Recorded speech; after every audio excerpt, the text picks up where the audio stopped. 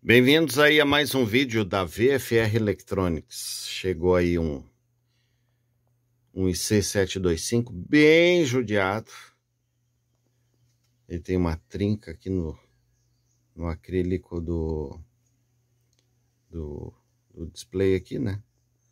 Tá faltando botões. Infelizmente isso aqui só em caso de sucata para conseguir de volta, hein? Isso aqui é difícil de conseguir vai ver o que, que vai ter que fazer aí, tá bom? O rádio está funcionando tudo, porém precisa de alinhamento, que tá todo fora, né? Olá, olá, olá, baixa modulação, olá, olá.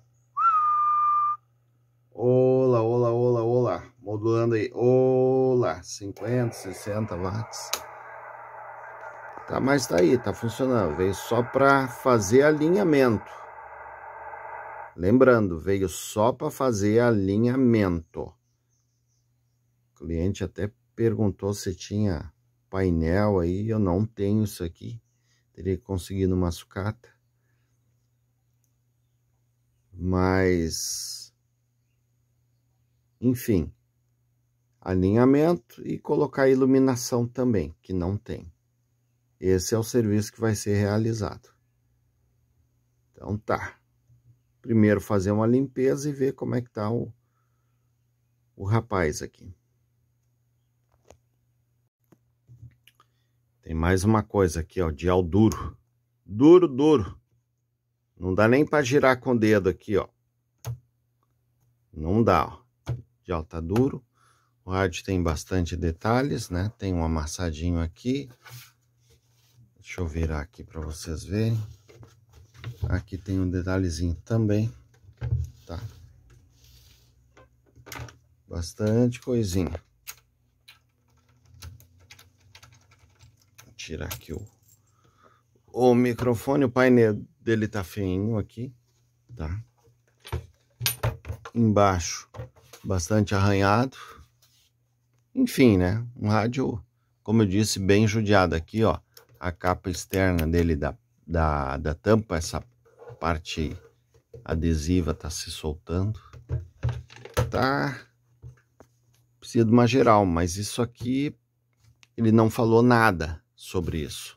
Não falou nada.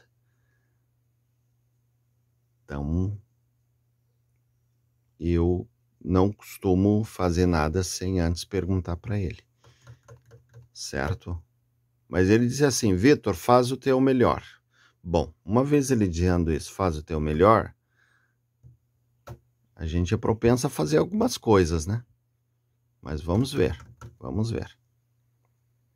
Aqui o rádio já está sem as tampas. Aqui provavelmente o proprietário já colocou o indicativo dele. CX5 Victor Eco. Isso aí já deu para perceber que o proprietário é uruguaio, tá? Que aqui é minha cidade de fronteira e eu atendo o Uruguai também. Para quem não sabe, tem muitos clientes no Uruguai. Aqui a parte interna da PCI. Aparentemente tá boa, não tem cara de ter sido muito mexida, certo? Ou de repente nem foi mexida, né? Tudo depende que a gente vai ter que levantar essa parte aqui para acessar também a outra parte ali da mainboard 2, tá bom? Onde tem os outros componentes. Então tá, a gente vai fazer isso aí, vamos ver se eu vou filmando ou não. Pessoal, tem feito pouco vídeo porque a correria tá grande, tá? E eu tenho que dar conta, porque fazer vídeo e consertar ao mesmo tempo não é uma tarefa tão fácil para mim. Então vocês vão ficando com saudade aí dos vídeos, mas eu vou fazendo à medida que for possível, eu vou fazendo sim, tá? Se eu encontrar novidades, alguma coisa, eu vou fazendo, com certeza. Mas não fiquem tristes não. As coisas vão devagarinho vão andando, mas vai dar certo, tá bom? Aqui já abria segunda parte aqui. Tá bem sujo aqui a ventoinha. Aqui essa PCI tá bem suja, ela tem uma coisa aqui estranha aqui. Parece que foi tentado passar uma, uma gordura de... Não sei se óleo de soja, o que que é. Tá um troço estranho isso aqui. Tem que ver como é que eu vou fazer para limpar isso aqui. Na verdade eu tenho um produto especial que limpa isso, né? Não é que eu vou ter que ver. Isso aí vai ter que fazer uma limpeza geral. A PC em geral aqui tá boa, né? Mas a gente vai ter que tirar tudo isso aqui para ver. Aqui é a parte traseira do painel. Já foi mexido aqui, né? Na iluminação, que é o que a gente vai mexer para restaurar a iluminação.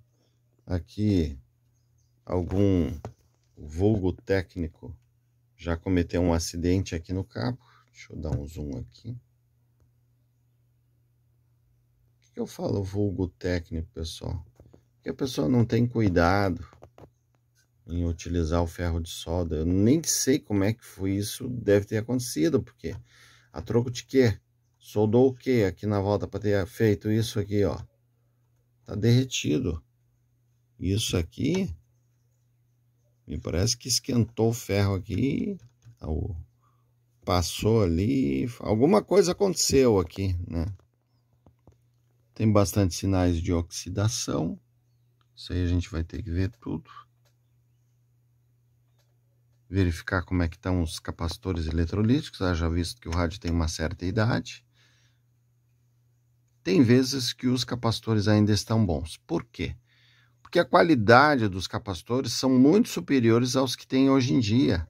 Tem muito capacitor que vem made in China aí, que infelizmente é uma porcaria. São poucas marcas aí que são boas. Então, eu só mexo em capacitores se eles estiverem ruins. Mas se estiverem bons e a marca, a qualidade é boa, não há por que mexer. Que às vezes tu vai botar um capacitor aqui novo, aí ele, em seguida, daqui uns anos, começa a dar defeito, sendo que esse antigo não dá. Tem, tem tudo isso. Tem tudo isso que você levar em consideração. Então tá, vamos trabalhar nesse rapaz aqui. Primeiro fazer uma bela de uma limpeza. Vou tirar do zoom aqui. Então chegamos aqui na parte do PA, onde tem também o bloco de low pass filter, opção de limpeza. Aqui o PA, PA tá original, isso é um bom sinal. Geralmente essa linha da, Icon IC725, 726, 738, eles são muito bons no PA, hein? fantástico. Não vi ainda PAs melhores. Mas tem, mas esses aqui são os canhões, chegam a, a potências incríveis, tá? Então ele tá bem original ainda, dá para ver aqui a massa, a pasta térmica ressecada, mas não foi mexido, não tem marca de estanho mexido, tá bem originalzinho aí, tá certo? Tá sujo, né? Isso aí tudo nós vamos ter que mexer, ó, essa tampa aqui tá bem suja, fazer uma limpeza geral, tem que levantar o lâmpas fita, refazer os pontos de solda, tudo isso tem que ser feito, hein? Esse aqui é o velho rádio que precisa de uma geral mesmo. tá certo? Isso que o cliente pediu só para fazer alinhamento e colocar as lâmpadas. Mas não tem como tirar um rádio daqui e a gente não fazer isso aqui, né, pessoal? Então, é praticamente automático, a gente tem que fazer tudo, tá? Claro que ele pediu uma revisão também, né? Então a gente já entra com a revisão geral, tá? mesmo ele tendo pedindo só alinhamento e troca de lâmpada, a gente entra com revisão geral. Porque precisa, porque se o rádio voltar para o cliente, todo lindo, bonitinho, de repente uma semana depois dá um problema, por onde que passou? Ah, foi passado pelo último técnico que mexeu, né? Então, isso aí a gente preserva muito nessa questão aí, né? Tá aí, já feito uma limpeza parcial. Já fiz as... Refiz, né? Os pontos de solda, tudo. Aqui também. Já foi feita uma limpeza parcial. Pasta térmica nova aí, tanto embaixo nos transistores. Ainda preciso terminar uma limpezinha aqui, tá? Mas tem bastante coisa ainda para fazer. Não sei se eu vou filmar tudo, mas uma parte já foi feita. Tá aí. Já tinha removido essa placa, já tinha desmontado, refeito os pontos de solda, fiz a limpeza aqui, uma limpezinha parcial também. Depois a gente só passa mais um pincel aí para tirar qualquer fragmentozinho.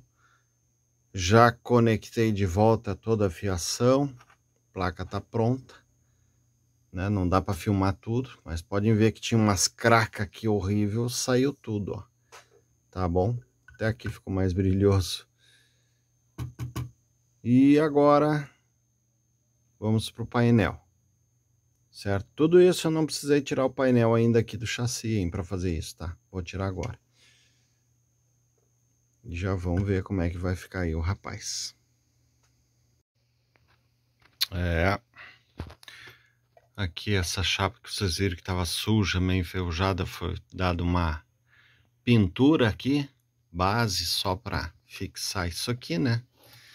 Para ficar bonitinho, não ficar feio, tá bom? Ficar muito enferrujado, né? E agora a gente vai colocar isso aí de volta. Já foi feito um alinhamento desse módulo aqui da saída, conferido todo o low pass filter, limpeza da ventoinha, tudo foi feito. Agora a gente vai colocar de volta aqui. Então tá aí, pessoal. Radinho já montado. Eu pulei a etapa da montagem, que é desnecessário, né? Filmar a montagem. Para o vídeo não ficar muito longo, tá? Pessoal, parte de painel desse rádio, eu não consegui a um, um, um, painel novo, uma sucata novo, que eu digo assim, completo, inteiro, né? Porque é difícil de conseguir a sucata desse rádio, né? Geralmente esses rádios estão funcionando. Quem tem sucata não quer vender. E quem tem quer vender, quer vender muito caro. Aí fica ruim para o cliente, que tem que repassar para o cliente aquela coisa toda. Então nem sempre a gente consegue tudo, certo? Mas tá aqui o radinho. Ó, tá na minha antena ali, o pessoal já falando. Questão da iluminação já tá ok. Aqui a trincazinha que tinha, passei uma colinha especial, tá? Para dar uma disfarçada ali e até para colar, né? Porque tava, se a gente apertasse o dedo ali, afrouxava. Então, já colocamos uma colinha. Aqui a parte do excímetro tá ok, também iluminação. Ah, só a borda aqui que tá um pouco feinha por causa que o acrílico tá danificado, tá? Então, ficou assim. Aqui a gente fez uma adaptação de umas teclinhas aqui para ele não perder as funções, né? Então, coloquei uns tubinhos aqui como tecla, tá? Tá funcionando aqui todas as teclinhas. As teclas daqui eu tirei daqui da função de cima aqui, passei para cá. E aqui adaptei também com, vocês estão vendo até azulzinho, ah, é palitinho de cotonete mesmo, tá? Mas é feito isso aí porque como eu não consegui achar teclas também para esse rádio aí, foi difícil, tá? Então tá tudo aí, tudo operando normal, né? Questão de VFO aqui, pá, memória, né? Tudo funciona direitinho, tá? Parte aqui, ó, de kilohertz, né? Mudança de sintonia, tá? Tudo funciona, chave USB, LSB, CW, tá? AM, FM. Esse rádio não tem placa de transmissão AM, ele é só recepção em AM, tá? Então, placa de FM é acessório. Isso aí é também outra coisa difícil de achar. É um rádio tão bom, eu já tive um. Um não, eu tive dois IC725, fantástico. Depois tive o 726 e o 729. Me arrependo amargamente de ter vendido o 729, mas são rádios equipamentos. Foi um dos melhores rádios que eu tive em matéria de recepção e transmissão. E é um tanque de guerra. Tu leva para tudo que é lugar, esse rádio não dá problema. É um rádio muito bom, funciona maravilhosamente bem. tá? Quem tem dificilmente quer se desfazer. Só se desfaz se for necessário. Aqui a gente deu um trato na tampa, tá bom? A gente lixou e pintou de preto fosco. Tava feinha a tampa, vocês lembram no início do vídeo, né? Colocamos parafusos novos, tá? Aqui a lateral dele, ó. A tampa a gente tentou recuperar o máximo que deu. Embaixo aqui ele já tinha esses pezinhos, né? Dele. Tampa pintada também. Ficou fantástico esse radinho, apesar de estar tá assim um pouquinho faltando, né? As teclas e a questão ali. É um equipamento fantástico. Muito bom. Quem puder comprar um, quem não tem HF, puder comprar um desse aqui, não vai se arrepender, não.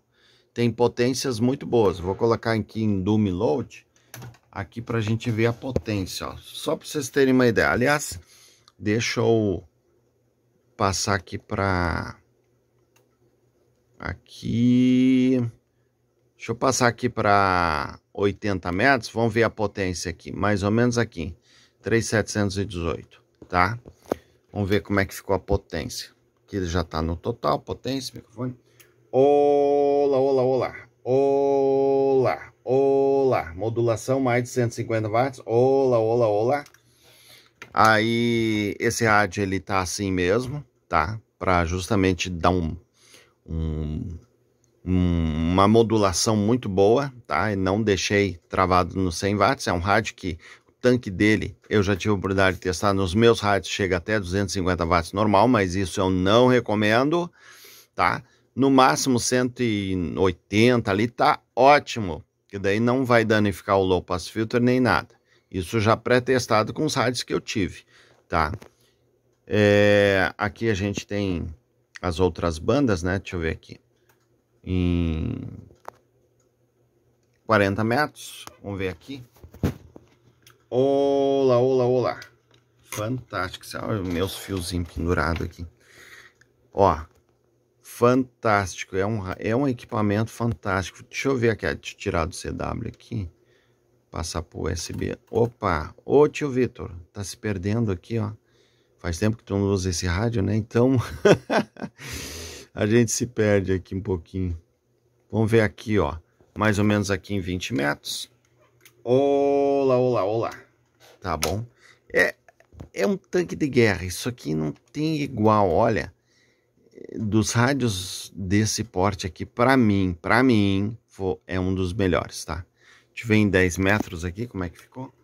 Olá, olá, olá, olá. Fantástico, hein? Fantástico, fantástico. É um baita rádio. Apesar dele tá, esse aqui tá meio assim, faltando as teclas, alguma coisinha, mas é um baita rádio. Agora o cliente vai ter a oportunidade de poder utilizar aqui, vocês perceberam uma coisa aqui, né? Tava duro isso aqui, já tá macio, ó. O cursor aqui do dial, tá? Aqui, ó. Olha aqui, ó, tá ali, olha o dedo, passa levinho, levinho, levinho. tá bom? Então é isso aí, ficou muito bom esse equipamento aqui, particularmente é um radinho já bem usado, né? Esse rádio já tem o quê? Uns 30 anos. E é um equipamento fantástico, áudio muito bom na transmissão, recepção fantástica. Pessoal, não se esqueçam então de dar o likezinho, se inscreva no canal da VFA Electronics, clica no sininho para receber a notificação de novos vídeos. Fiquem todos com Deus e até o próximo vídeo.